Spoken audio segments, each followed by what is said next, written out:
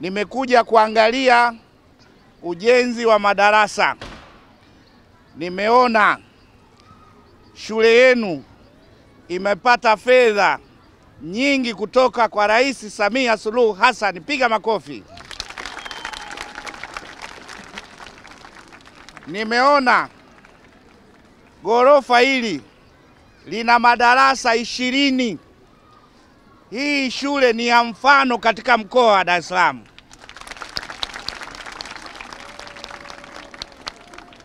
Kwa hiyo Dar es Salaam, hii shule kokote mkipita, waambieni tunasoma kwenye shule ya mfano.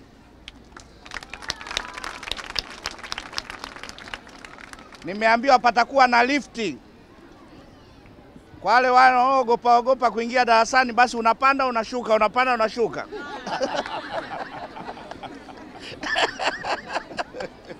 Itabidi awepo mtu wa kucontrol ile ile ile ile nani ile ile lifti, kwa sababu kuna wengine wasumbufu watakuwa anaji pale pale, ameenda juu amerudi, kumbe anakwepa kipindi. Lifti oye!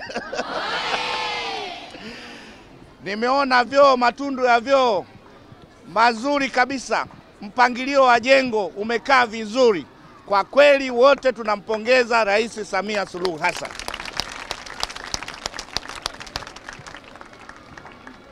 Kwa hiyo ombi langu kwenu nyie hapo mlipo, yupo Samia Suluhu Hassan, uongo kweli?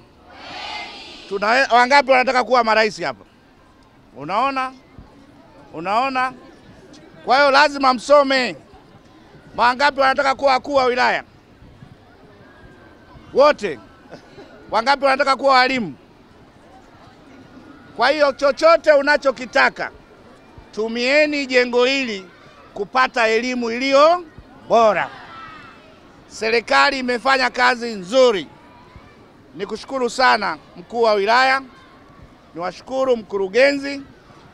Nilipokuwa naondoka, tulikuwa na changamoto ya ujenzi wa sekondari, na mara nyingi Jerry Silaa huku alikuwa anapata na ah, Jerry Silaa kule Ukonga wakati hela zilipokuja zile alipata nyingi, kwa sababu maeneo ya kujenga yako mengi.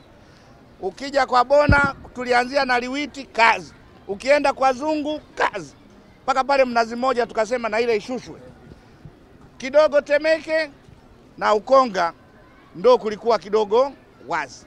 Nafurahi kwamba maelekezo yale tuliyoyatoa wakati ule kwamba Dar es Salaam sasa majengo yote ya shule yawe ghorofa. Nawapongeza sana kwa kazi hiyo nzuri, lakini Mama Samia ili ajue hapa jimbo la Segerea kwamba kuna uhaba wa maji, kuna uhaba wa shule, kuna uhaba wa vituo vya afya. Kazi kubwa ameifanya mbunge wetu mama yenu Bona,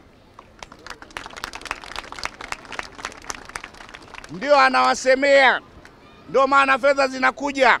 Ndio maana madarasa yanajengwa, lakini tunaye mbunge ambaye ndio anawasemea. Mheshimiwa mgeni rasmi, viongozi mbalimbali ambao mko hapa, ikiwa itifaki imezingatiwa, kwa niaba ya wananchi wa jimbo la Segerea, tunapenda utupelekee salamu zetu kwa Mheshimiwa Rais kwa kazi kubwa anayoifanya katika miundombinu ya elimu hasa katika jimbo la Segerea.